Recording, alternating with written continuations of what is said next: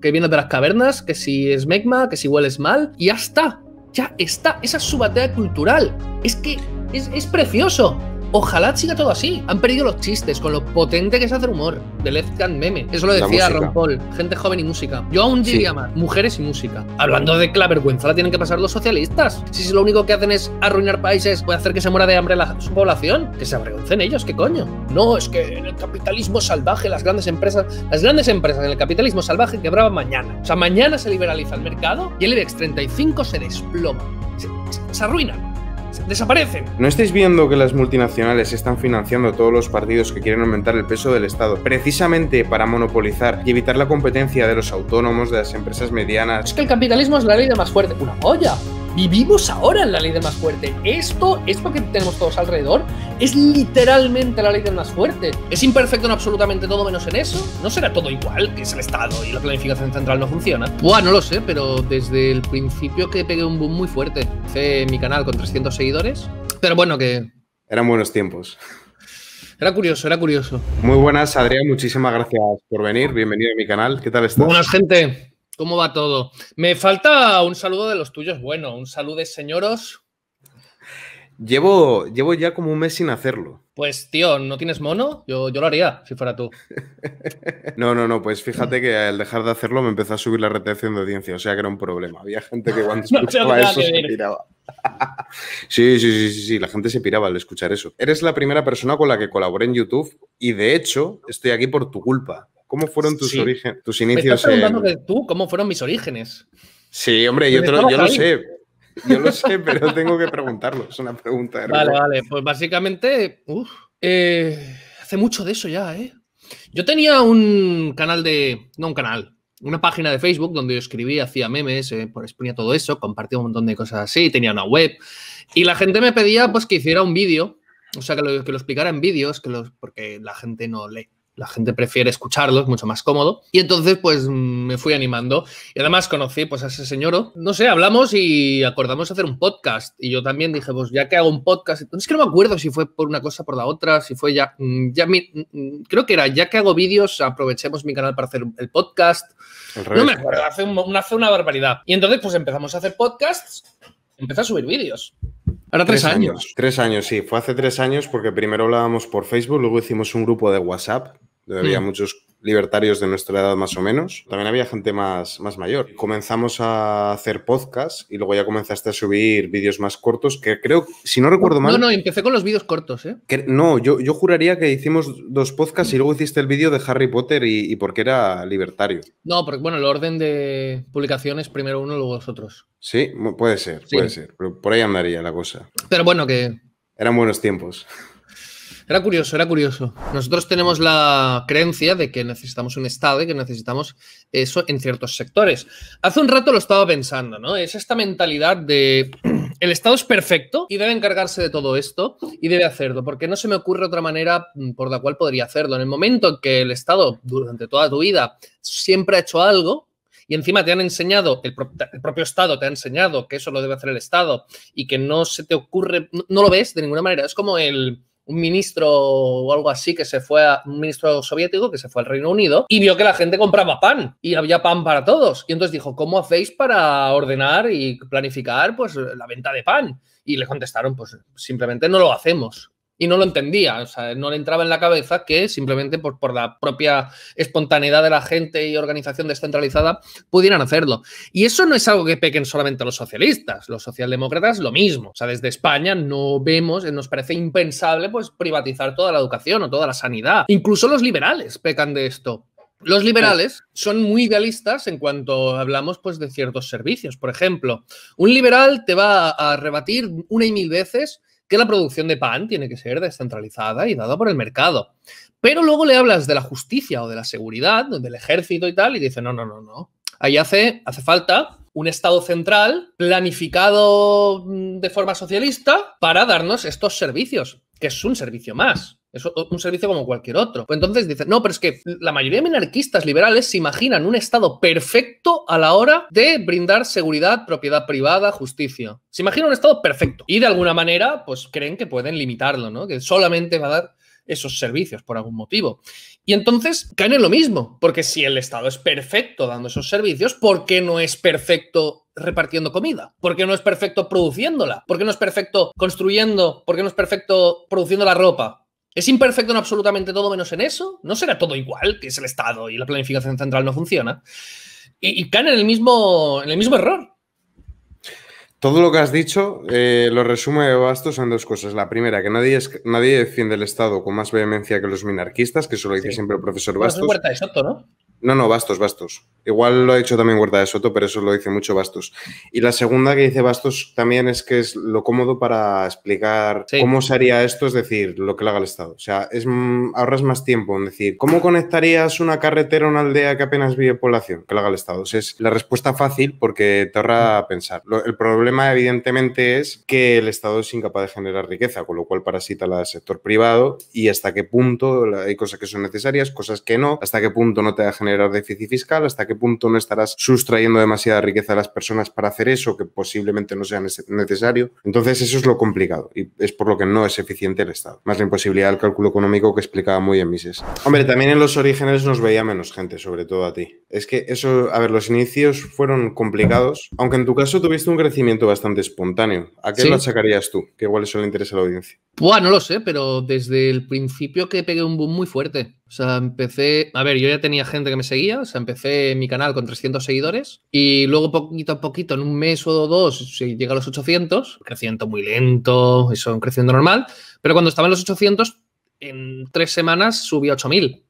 Eh, no sé qué pasó. Me publicaron en varios periódicos. El algoritmo de YouTube dijo, wow, vengámonos arriba. Y no sé muy bien, pero, pero sí, sí. También es verdad que yo empecé de los primeros. Cuando empezó todo esto a hablar de política y liberalismo en Internet. De hecho, es que antes, de antes que nosotros solo estaban Tío Blancoetero y Bueno, pero Tío Blancoetero llevaba tres meses o cuatro. Sí, sí, sí, llevaba muy poco. acababa de empezar. Nosotros empezamos casi a la vez que ellos. Creo que la diferencia era de, eso, de nada, de tres meses. Igual Isaac empezó un poco antes, medio año antes. Mm, sí. Y ya está. Sí, sí, nosotros llevamos aquí desde los orígenes de que la gente empezara a hablar de política en YouTube. Bueno, había algún... de liberalismo.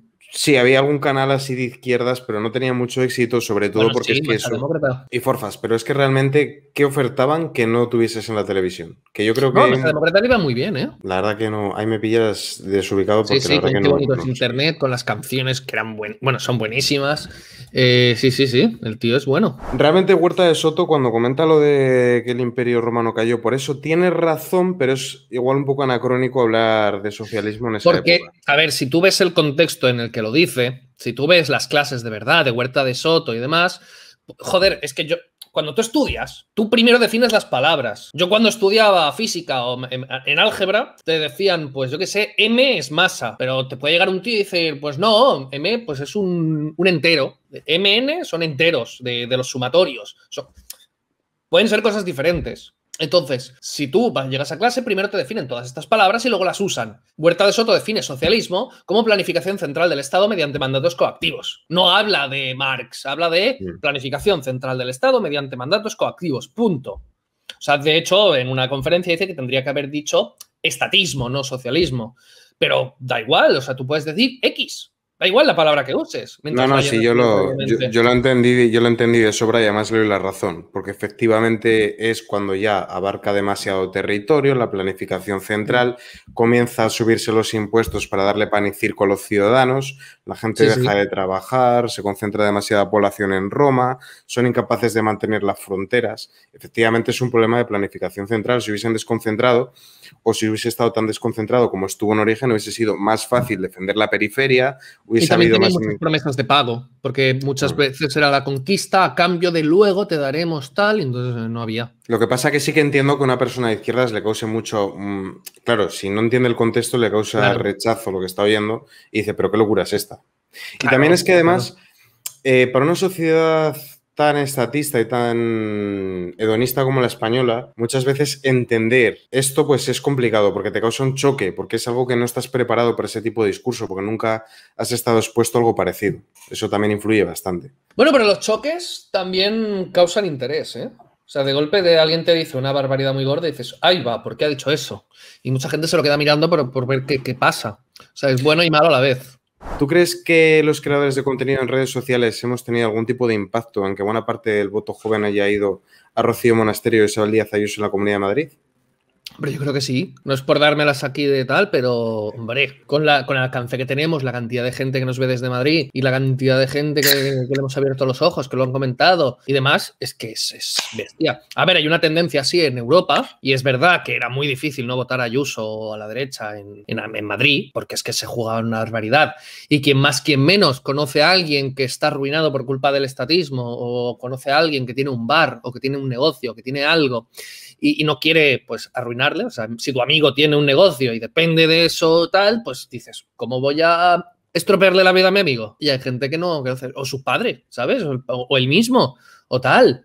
Eh, entonces, mm, Claro, ¿cómo lo condenas así a sangre fría? Pero yo creo que sí, que hemos abierto muchísimo los ojos y, seguirá. O sea, esto es un principio. Llevamos, llevamos tres años dando la matraca. La gente ha visto, bueno, esto lleva viéndonos muchísimo y es una cantidad de gente de gente. No sé si a niveles, que sé, no sé a qué porcentaje, no sé, a lo mejor es el 1% del voto de Ayuso, igual hubiese ganado igual si no llega a ser por, o sea, seguramente hubiese ganado igual si no llega a ser por nosotros, pero tanto porcentaje de voto joven y tal es muy heavy. Los medios de comunicación tradicionales tiene un discurso muy parecido en todos los medios. Es decir, a ver, los datos evidentemente van a ser los mismos y te ciñes más o menos a la realidad, pero luego cuando también el relato es el mismo, más o menos, pero cuando luego el relato es el mismo, los datos es lógico que haya una correlación, pero cuando encima el relato que se construye en base a esos datos es el mismo y todos están hablando de V machista, de patriarcado, techo de cristal, eh, crisis humanitaria, no sé qué, no sé cuántos. Al final produce cierto hartazgo, sobre todo si ves que no se corresponde con tu día a día.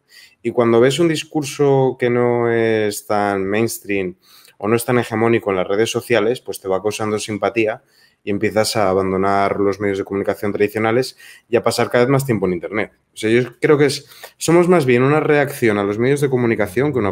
Bueno, también podríamos ser una consecuencia según cómo se entienda, pero me parece bastante lógico, por otra parte. A ver, evidentemente los medios de comunicación hacen un trabajo horrible. O sea, si, si hiciesen buen trabajo no estaríamos aquí. Si hubiese opiniones de todo tipo, pues no estaríamos aquí.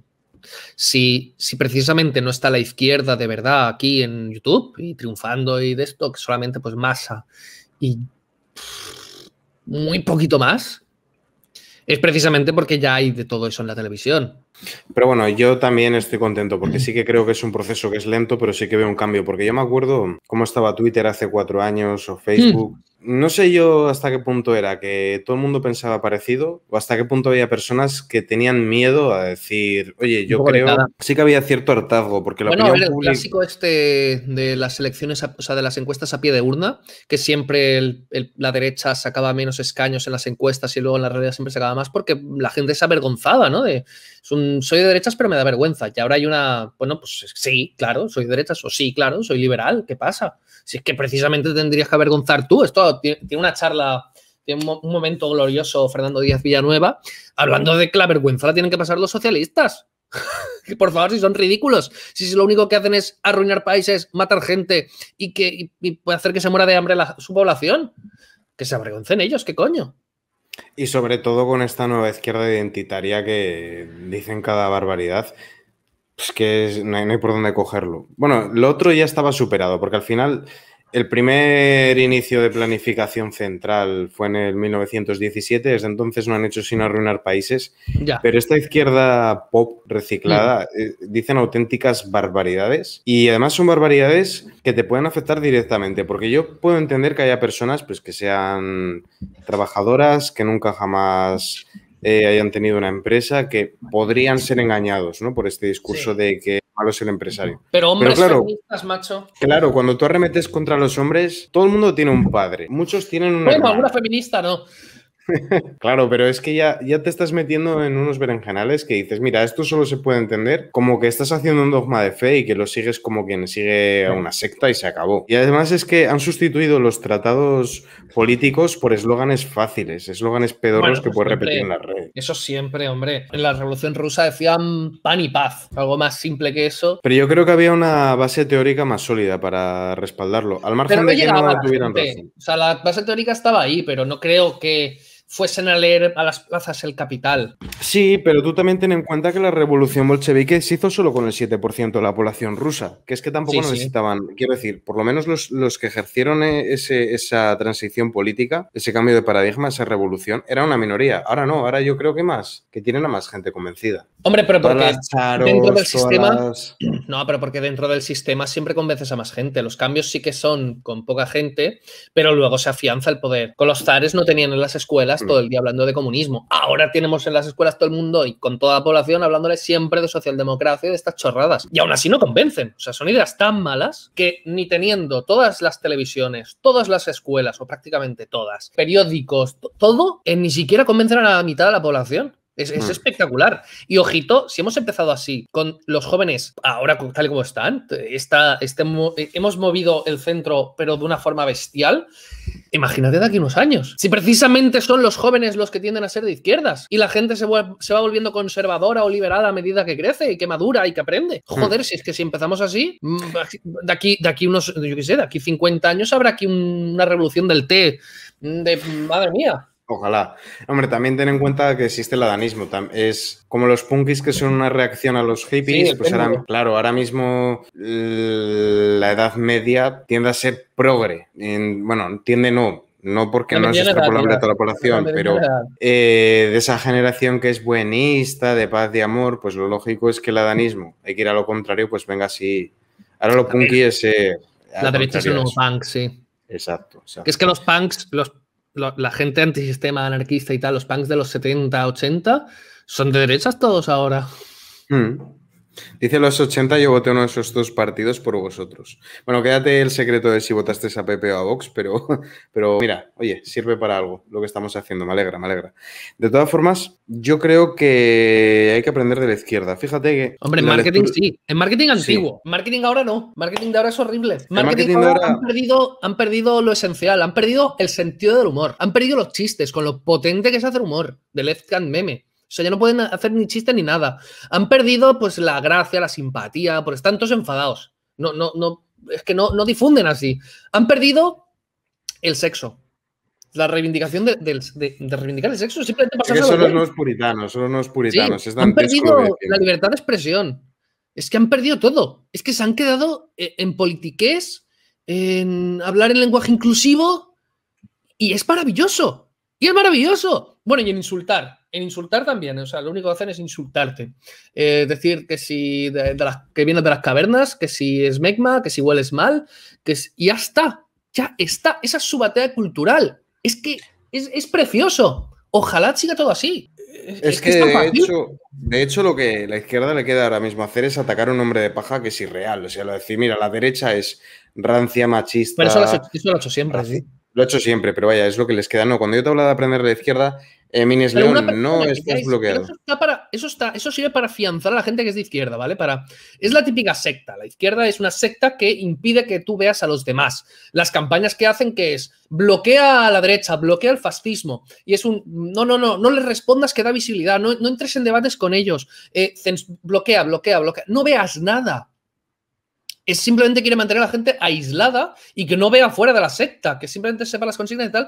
Y entonces, claro, tú puedes, tú puedes ir diciendo que son machistas, son racistas, son sexistas, son no sé qué, pero a una persona que ya no es progre no le vas a convencer así, no le vas a decir, no, es que tú eres, no, no lo soy. Ya, pero es que tú eres, y tú como defiendes, pero no lo defiendo. No van a convencer a nadie que se vuelva a pasar al otro bando. Simplemente es afianzar y es que llegará un momento que, que den poca gente y tendrán que cambiar radicalmente de estrategia. Y como sigan la misma estrategia, adiós muy buenas. Yo lo que me refería es a lo que planteaba Antonio Granchi, hacerse con la hegemonía, que yo creo que, estuvo muy acertado ahí. Y yo creo que nos falta. eso es izquierda antigua, eso es izquierda vieja. Lo que tú comentabas de del humor, yo creo que es una baza muy importante, por eso canales como los Meconios me parecen fundamentales para dar la batalla cultural. La música, la música es esencial. Eso lo decía Ron Paul gente joven y música. Yo aún diría más, mujeres y música. ¿Por qué? Porque hay muchísimos hombres que, bueno, todos los aliades, todos los hombres progres aliades, el momento en que las tías sean de derechas o sean liberales y para follar lo que tengas que decir sea pues eh, cosas liberales, tiran cosas liberales. No me creo que haya... Sí, puede haber algún tío feminista, progre y tal, pero son tan pocos. Pero poco a poco se va revirtiendo. Pero sí, hay que aprender de ellos y deportistas también necesitamos. Y fíjate que ahora Roberto Soldado, Espigo... Sí, sí, no. Sobre todo en Estados Unidos. El deporte es puro, puro Donald Trump. Bueno, bueno, bueno, me acuerdo yo en, eh, que en la Super Bowl lo inauguró Beyoncé un año vestida de pantera negra, luego también se empezaron a rodillar. no, digo el público, el público. Ah, el público, sí.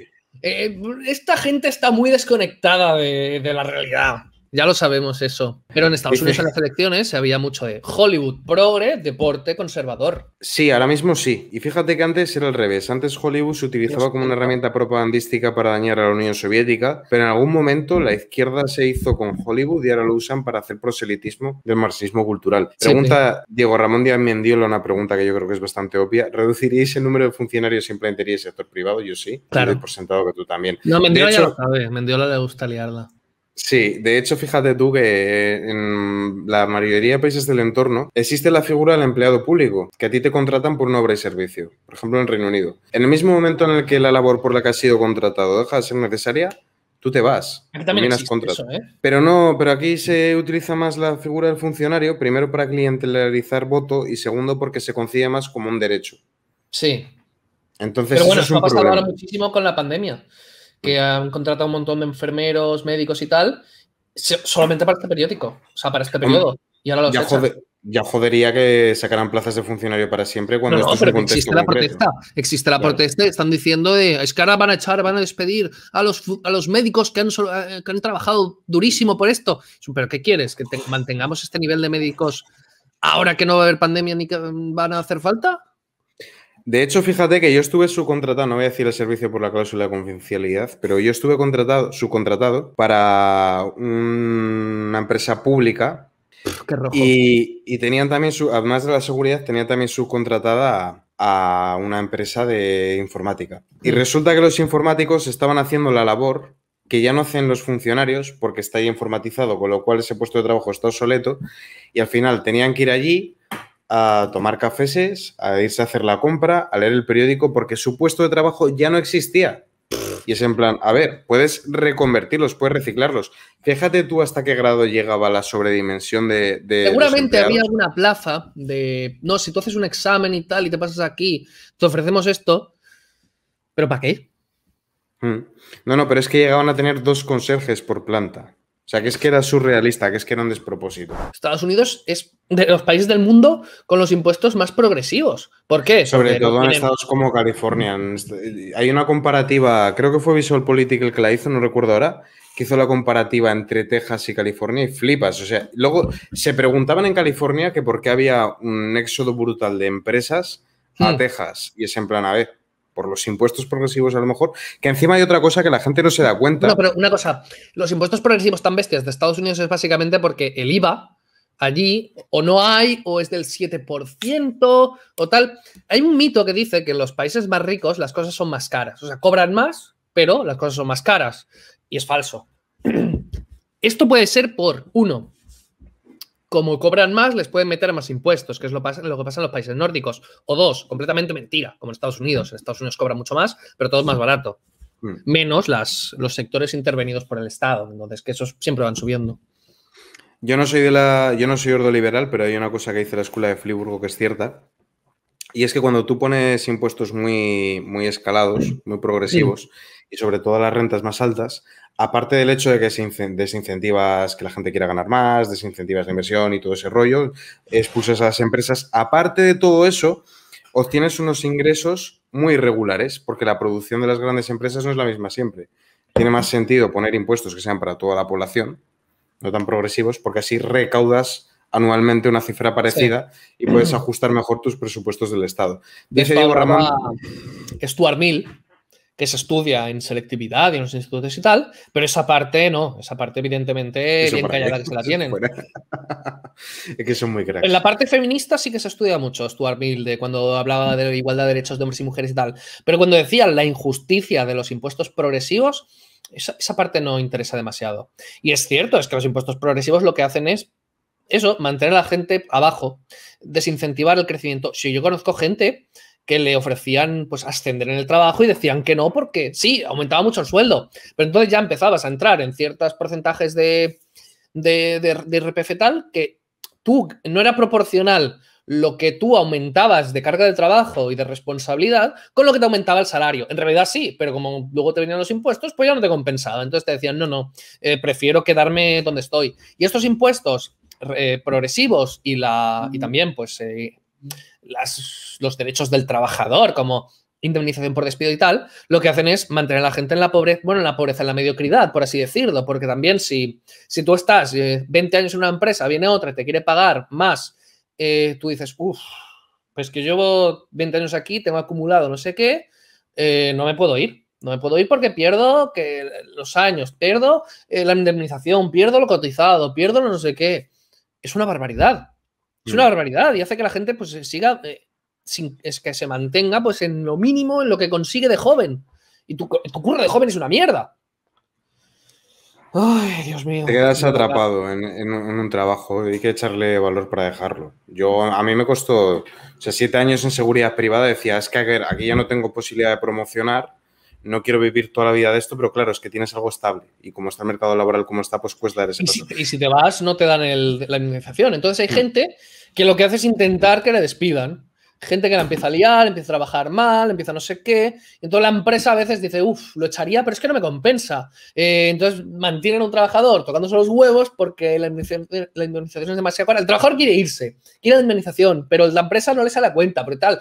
Y eh, de verdad, o sea, un sistema productivo así es ridículo. De hecho, fíjate, lo malo que es intervenir la economía, que yo lo viví de primera mano en mi trabajo. Cuando metieron el salario mínimo interprofesional, que lo pusieron a 950 pavos, Resulta que un auxiliar, sin asumir las responsabilidades que tiene un vigilante de seguridad, ganaba prácticamente lo mismo. ¿Qué pasó? Que las empresas dejaron de encontrar gente que quisiera trabajar de vigilante de seguridad. Decían, sí, muy bien, de vigilante de seguridad voy a ganar lo mismo que de auxiliar, pero encima tengo que hacer noches, encima tengo que, asumir esta serie de responsabilidades, tengo que hacer intervenciones. A mí méteme de auxiliar, que no quiero ser vigilante. Es que realmente intentar planificar la economía o el ámbito laboral es un error de la hostia, pero bueno, que la gente se cree que e, es creyente del Estado. Lo ven como una religión. El Estado es omnipotente. Se pone una ley. al principio. Pero para eso, puede, si fuese así de fácil, podrías ilegalizar ponerte enfermo y acabas con las enfermedades. Pues que no es así de fácil. Dice Diego Ramón Díaz Mendiola, gracias, habéis lavado el cerebro a los jóvenes con la derecha. Por supuesto. y Eñe dice, no sabía yo que a señor y amigos traían a tibios socialdemócratas como Adrián. Bueno, él también es tío socialdemócrata. ¿eh? Él, es. Él es. No, es 100%, no es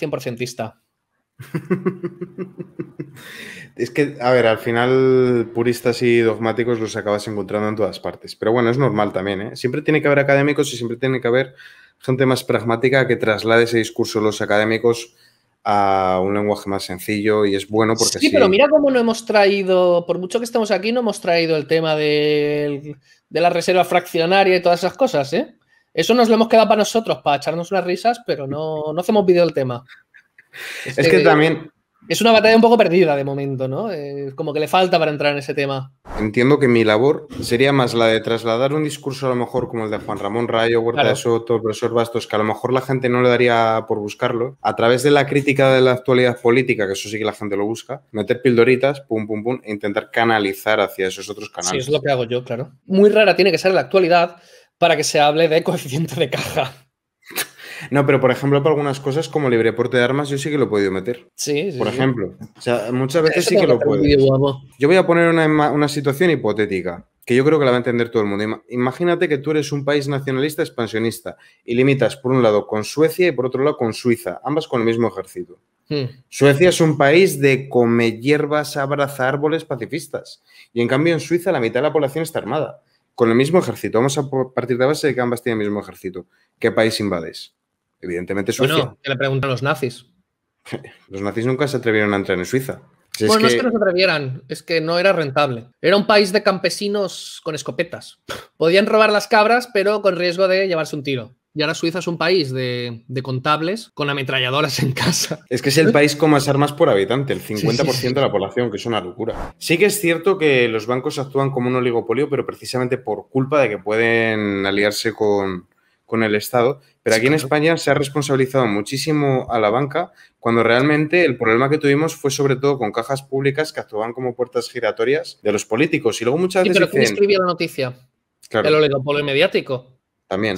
pero unos se cubrían el culo a los otros. ¿Qué dicen luego? No, es que los liberales, bueno, yo no soy liberal partiendo de esa base, pero bueno, dicen, no, es que los liberales no decís nada al rescate a la banca. Y yo, perdona, yo estoy en contra de rescatar con dinero público. A Rayo le dicen mucho que no decía nada en contra del rescate, cuando tiene un montón de artículos, un montón de propuestas, se peleó un montón en esa época. Me he quejado del rescate a la banca, me he quejado del rescate a las autopistas. no rescate a la banca, rescate a las cajas. A las cajas, vamos a decirlo bien, a las cajas. Me he quejado del rescate a las autopistas, me he quejado del rescate, del rescate de empresas deficitarias. Y luego te hacen el hombre de paja, ah, cuando es dinero público para empresas no dices nada. Y yo, ¿cómo que no? Pero, ¿Qué interés tengo yo en que se rescate la empresa? Pero tú eres tonto. ¿Pero para qué quiero yo mi dinero vaya a una empresa? ¿Por claro. qué están mal? Claro, es que encima es algo tan sencillo. Le vas a quitar dinero a una empresa que es funcional para meterle a una empresa que sí o sí va a quebrar, que la vas a tener con respiración asistida y eso es de facto como sacarle sangre a una persona para metérsela en transfusión un cadáver. ¿Quién va a querer hacer eso? Pero te acusan de que.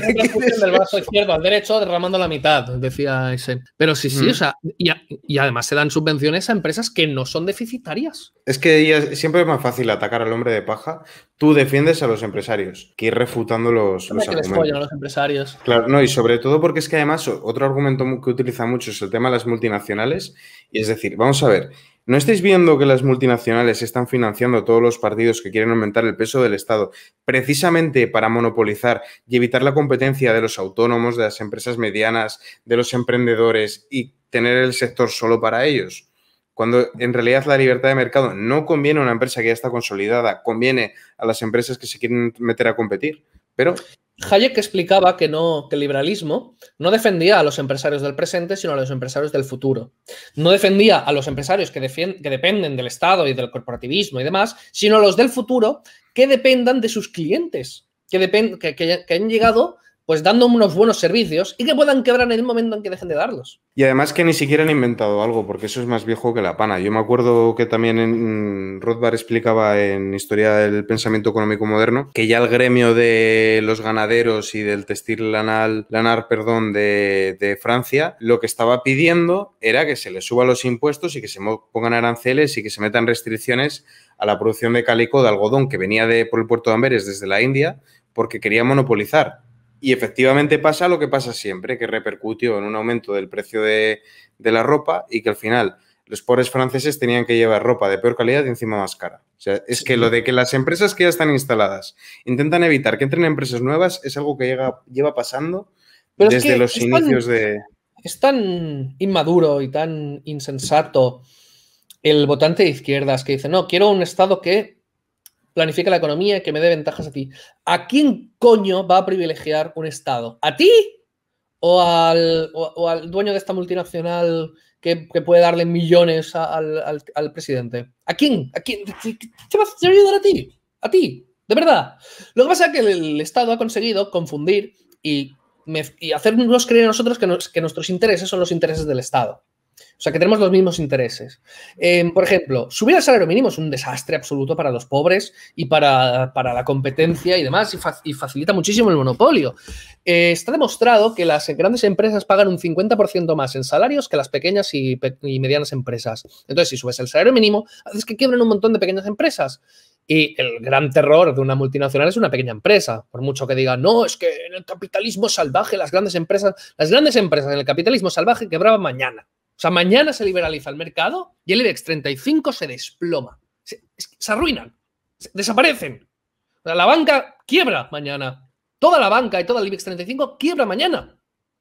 Pero, ojo, que, el libre mercado y tal beneficia a los ricos. Sí. Ya que, anda que no incide. Imagínate que ahora de todo el. Eh, em, del SP500, eh, de Standard Poor's, de, de todo Silicon Valley, liberas todas las patentes, todas. Em, ¿Qué? ¿Eso beneficia a los ricos? ¿Eso hace que el capitalismo salvaje se cree, acabe en monopolio con todas las patentes liberalizadas? Dios mío. Pero bueno, luego, dice, luego salió, es que me hace gracia porque luego salió toda la izquierda que había poser de Twitter con las elecciones de Madrid. No hay nada más tonto que un obrero de derechas. Es decir, si te van a votar a ti, cuando estabais planeando una armonización fiscal que queréis convertir a, Madrid, te van a votar para que le suban los impuestos, claro que sí. Y la eh, mayoría de gente de Madrid es de fuera. Si es que la mayoría de gente de Madrid va a Madrid precisamente por cómo es Madrid. Si quieres hacer que Madrid deje de ser Madrid. Pero no solo en lo económico, es que encima son liberticidas en todos los ámbitos y querían regular la libertad de circulación, la libertad de reunión, la libertad de, que te puedas eh, juntar con eh, de, movilidad, de moverte de aquí pero que en querían prohibir la libertad de echar un polvo. Que querían que, estuviese prohibido, pues dos, bueno, en, en Valencia hay un montón de sitios. De hecho, en la pandemia heavy pasó eso. O sea, que no podías ir a ver a tu pareja. Claro, y luego, yo hablé con una chica que vive en, Australia y decía, pero a ver, pero tu pareja, ¿cómo no lo vas a poder ir a ver? Flipaba, ¿no? Con lo que nos estaban haciendo. Y sí que pusieron medidas eh, restrictivas, pero podías ir haciendo estas cosas. Han subestimado, fíjate que sí que incidió bastante a redes sociales, porque ellos pensaban que con tener monopolio de la información con los medios de comunicación y estar diciendo, por culpa de no sé qué contagios, nos hemos relajado mucho, es culpa de la sociedad civil, no culpa del gobierno, tal cual, no sé qué. Pensaban que con eso ya estaba y que la gente es tonta. Pero ¿qué es lo que pasa? Que cualquier persona que viva en Madrid habla con un tío de Castilla y León o con un tío de donde sea y ven Oye, que en otras comunidades resulta que el toque de queda está a tal hora y resulta que no pueden quedar y resulta que no se pueden mover y resulta que no sé qué. Y luego te viene Mónica García o te viene Pablo Iglesias o te viene Gabilondo a decirte que te van a poner la misma limitación y la misma restricción que las otras comunidades y te dicen, mira, te va a votar tu padre. Y es que en otros países no han hecho las medidas tan restrictivas como aquí y les ha ido mejor. Por ejemplo, en Francia sí que se han puesto pesos, pero es que Francia es un país horrible. Francia tampoco es ejemplo de nada. Dice Marcos Rubio. Va a petar, Francia va a petar, Francia no es sostenible. A ver, ¿qué dice Marcos Rubio? Es necesario que el Banco Central rescate a la banca, ya que esta es irresponsable precisamente porque existe un Banco Central que le va a rescatar. No, es que el Banco Central es innecesario, porque primero porque imprime moneda, lo cual genera inflación y la devalúa. Y segundo, porque los bancos lo ideal sería que compitan entre ellos. Sería muchísimo mejor. Pero sí que crea. El, el hecho de que exista un Banco Central sí que genera irresponsabilidad por parte de... O sea, es un problema que se retroalimenta, que es lo que creo que quería decir Marcos Rubio, que es una pescadilla que se muerde la cola. Si tú sabes que te van a rescatar... Tú imagínate que te vas a un casino y te dicen, mira, todos los beneficios son para ti y si pierdes, te lo pagamos nosotros. Vas a hacer las inversiones, o sea, vas a apostarlo todo, vas a ir a lo, a lo bestia. Vas a... Y da igual que pierdas, porque total es el dinero de la gente el que te juegas te da igual. Totalmente. pero es que eso es extrapolable a todos los ámbitos y es algo que es de AESA, es algo súper lógico, pero sin embargo no lo entienden. Es como cuando aquí en España dijeron, mira, el superávit de los municipios, a partir de ahora ya no va, ya no va a quedar en el municipio, va a ser gestionado por el Estado y se va a distribuir a aquellos municipios que son deficitarios. La conclusión lógica es decir, vale, te has cargado el incentivo de un municipio para tener superávit porque se lo vas a quitar, porque es impopular no gastar el dinero, porque tú lo puedes gastar en gasto social, en infraestructura y consigues que te van a votar. Quitas ese incentivo y luego para el que tiene déficit, el incentivo que tenían a corregirlo para no estar quebrados o para disponer de dinero, también lo quitas porque le vas a dar dinero que le has sustraído a otros municipios. Con lo cual lo que consigues es que los que lo hacían bien lo dejen de hacer bien y los que lo hacían mal lo hagan peor. Pero algo tan lógico la gente no lo entiende. Y encima es que la gente sí que lo entiende en su ámbito familiar. O sea, yo pertenezco a un núcleo familiar y entendemos que si gastamos más de lo que estamos generando, tenemos que pedir deuda. Entendemos que tenemos que ajustar nuestro gasto. ¿tú sabes la cantidad de recursos dedicados y de mentiras dedicadas a intentar hacer ver que la macroeconomía no funciona igual que la microeconomía? O sea, que son cosas diferentes, que no funciona igual un Estado que una familia. O sea, es un trabajo brutal y es todo mentira. Pero ahí siguen. Ahora la, izquierda está reciclada posmoderna que tiene como sujeto revolucionario a la mujer. Dice, mira, como la mujer tiene unas problemáticas concretas que no tiene el varón, lo lógico es dar unos días, cuando está menstruando, que no tenga que ir a trabajar. Y yo digo, ah, sois unos crack. Os estáis quejando de que hay menos contratación de mujeres. Hice vídeo de eso hace nada, sí, sí, sí, sí, sí. Hay menos contratación de mujeres y pretendes que si contratas a una mujer le, tengas que dar menos días, claro. Y la gente va a contratar más mujeres. Y la brecha de género. Claro, se menos la mujer. Todos estos derechos, que en realidad son privilegios, lo que consiguen es excluir a, la mujer del mercado laboral. ¿Por qué crees que Pedro Sánchez igualó la baja por paternidad a la de maternidad? Para incentivar la contratación de mujeres. Porque eso ya lo sabe. Hmm. Precisamente lo igualó para que se contrataran más mujeres porque... Pero porque los políticos ya lo saben todo esto. Todo. Lo que pasa es que no les interesa y demás. pero evidentemente que lo saben. Ese es un problema de la democracia, que siempre se acaba anteponiendo el rédito electoral a la realidad. Y es que la política, en vez de hacer una política adaptada a la realidad, hacer una política que intenta adaptar la realidad a unos ideales y eso al final deriva en distopías y genera más problemas de los que pretende solucionar. No, bueno, es adaptar lo que tú quieres a lo que dicen tus votantes y tal, el desconocimiento general. es el gran problema de la democracia. Por estos que dicen, no, democracia formal y todo el rollo, y la caraculocracia y todas estas cosas, eh, seguiríamos teniendo el mismo problema sobre, pero no habría un filtro de una persona que dice, realmente en España, que es de los países más anticapitalistas que hay, de mentalidad, no digo de práctica, sino de, de creencia, si es que se votaría el horror. Es que si dejas a la gente votar sería el horror. Es que prefiero una partitocracia en España, que, bueno, tenemos al PSOE, pero el PSOE al menos a veces, pues dice, es que mm, si tuviésemos democracia de esta, la reforma laboral del PP se hubiese quitado y la del PSOE también. Dice Eña, abogado laborista, igual voy a exprimir la vaca hasta que se quede sin leche y ponerme medallas por ello, como si no estuviera matando de hambre a futuro. Es que si se dedicaran a... No, no, es que habéis firmado este contrato y tal, y el trabajador se ha comprometido a esto o el empresario se ha comprometido a lo otro, entonces eh, tienen que cumplir tal, y entonces se ha hecho, vale, me parece perfecto. Pero no, es que la legislación ha cambiado y por lo tanto te voy a cerrar la empresa. No, no, es que em, me parece horrible que la legislación pueda cambiar mientras, o sea, si tú contratas a alguien, ese contrato es el que debe valer. Que la legislación cambie, me la suda. O que se metan en follones como no, no, es que los riders son falsos autónomos y por lo tanto te obligo a contratarles. No, el contrato que era es ese de tal, eso. ¿Por qué tengo que cambiarlo ahora? Es que me parece ridículo. Eh, no, no, y luego está esa mentalidad de no, yo me meto aquí, me pongo a trabajar aquí, acepto el contrato que no me gusta, pero luego me pongo a sindicarme para cambiar ese contrato y que obligan por la fuerza a la empresa a cambiarme un contrato que yo voluntariamente he aceptado. Es de verdad justificar la violencia, es, es, el, la ley, bueno, esto que dicen, es que el capitalismo es la ley de más fuerte. Una polla. Vivimos ahora en la ley del más fuerte. Esto, esto que tenemos todos alrededor, es literalmente la ley del más fuerte. ¿Quién cojones pensáis que es el más fuerte? O sea, es que... ¿pensáis que, el Estado no es el más fuerte? ¿Pensáis que, el ejército, que, de cientos de tanques no son los más fuertes? ¿Y quién hace las leyes? El propio Estado, el, más fuerte. Vivimos en la ley del más fuerte. El monopolio de la ley del más fuerte es esto. Pues nada, Adri, te quiero agradecer encarecidamente que hayas venido hoy aquí al programa de hoy. Te voy a liberar ya. Y, y también quiero agradecer al público que hemos tenido, también a la gente que ha donado, a la gente que ha compartido.